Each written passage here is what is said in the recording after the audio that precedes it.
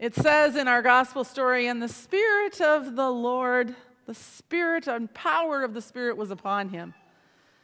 Now, Jesus has had the power and the Spirit with him before. At his baptism, the dove came down, right? And then when he was driven into the wilderness, the Spirit attended to him.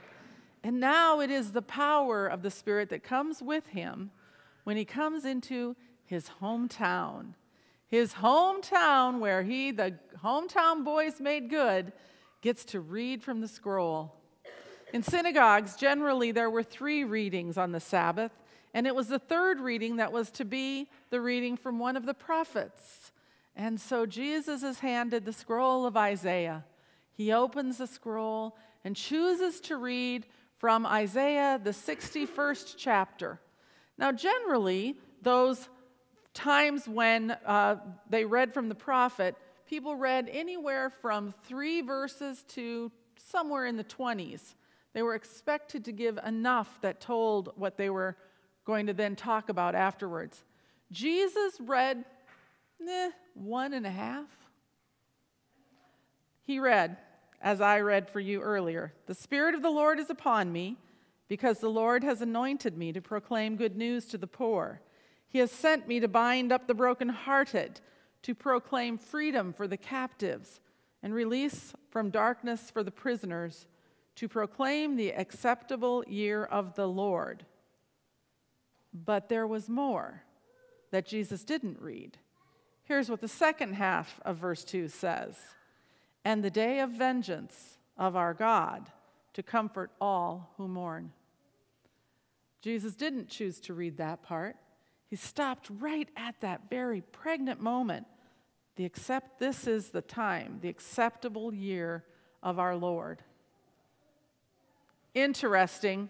When Jesus read from Isaiah, Isaiah was actually telling of a different time, even farther back in history. Isaiah was talking about when Moses came and first was giving the law, and part of the law, the acceptable year of the Lord, was that explanation of Jubilee that time when the community was called from the law of Moses to equalize things, to make things more fair, to change the order of the community so everyone had and none were needy.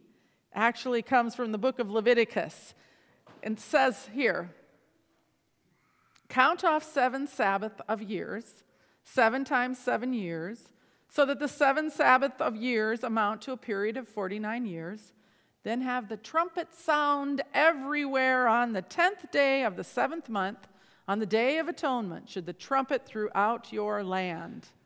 Consecrate the fiftieth year to proclaim liberty throughout the land to all its inhabitants. It shall be a jubilee for you. Each one of you is to return to his family property, and each to his own clan. And it goes on to explain how this Jubilee year would make things fair. Debt would be released, forgiveness would be given to all. Then all would live in the same manner, all would have their fulfillment and what they need. So it started with Moses as he gives the law of God as a new community is being formed by his leadership, that they were to plan to make a plan for fairness. Not only fairness economically, but fairness socially. And then next, it moves on to Isaiah. As the people are returning from exile, Isaiah once again is trying to help them to find that community that God has called them to be a community of righteousness where all are treated in the same way, a leveling as you may hear that word. And then Jesus, full of the Spirit, stands up to read these exact same words that God has called the community to fairness, to justice, to a way of making the community recognize its interconnectedness, to make the community know that when one suffers, we all suffer. A better explanation of that comes from that second reading that Kurt read for us today. about the body of Christ and how we are so connected that when one isn't working well, everyone else suffers. There were radical implications for this. And historically, we don't know that the Israelites ever practiced the Jubilee year, that they ever actually did follow this command or law from God. And so suddenly, that whole understanding of leveling, that whole set the captives free, blessed are the poor, becomes like a metaphor or a cry of the prophets for the community to change their ways, to be transformed in order to truly be the followers of God and to know that law and that law that helps them to see how much they need Jesus. You see, truly, what Jesus called for had radical implications to everybody share, to, to forget all of the debts would upset that whole economic system. To invite those back into your farm that you'd already sent away for one reason or another, to share after 50 years, and to set all the prisoners free? Well, just ask California about that, right? It has radical implications.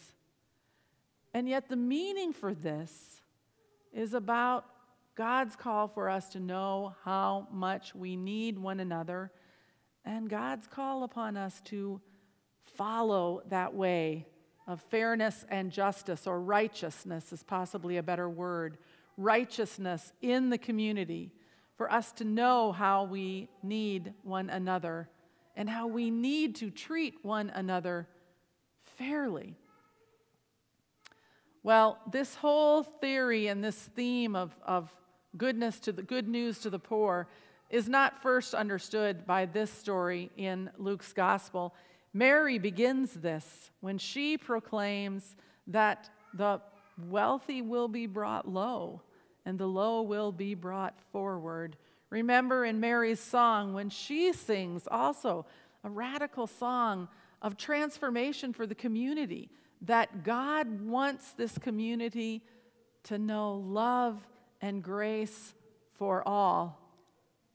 And I do believe even some of the poorest in our community wouldn't really know how to accept that kind of pure grace and pure love that this calling of God's law expects.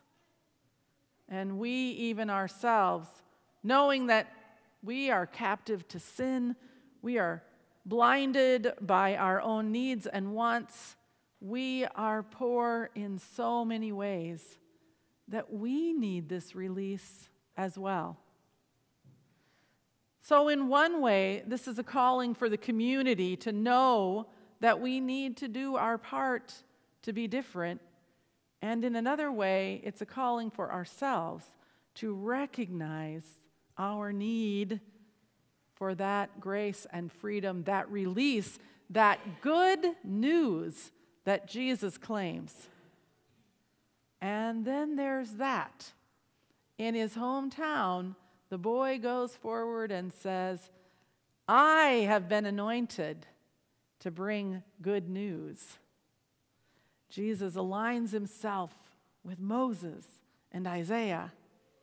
And I don't know if you've read the verses after what we just read today, but it doesn't go so well for Jesus. The hometown crowd gets a little upset. There's no big sign that's before you go into Nazareth that says the hometown of Jesus.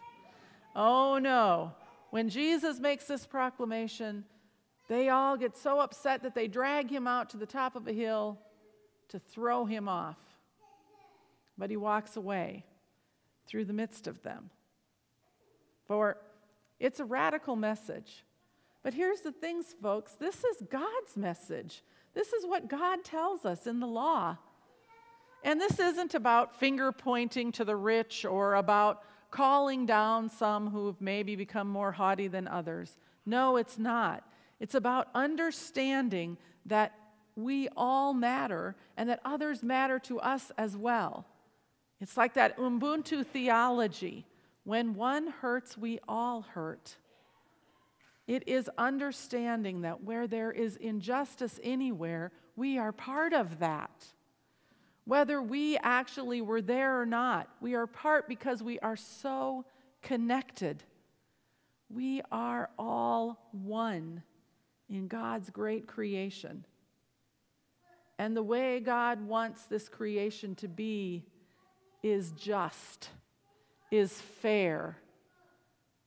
There's a, a great theologian, American theologian named Stanley Hauerwas, that suggests the most creative social strategy we have to offer is the church.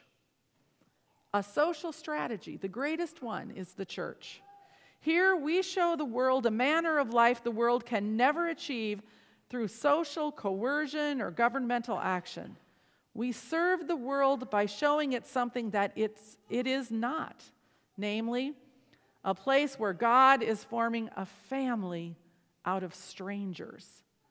The gospel begins with the pledge that if we offer ourselves to a truthful story and the community formed by listening to and enacting that story in the church, we will be transformed into people more significant than we could ever have been on our own.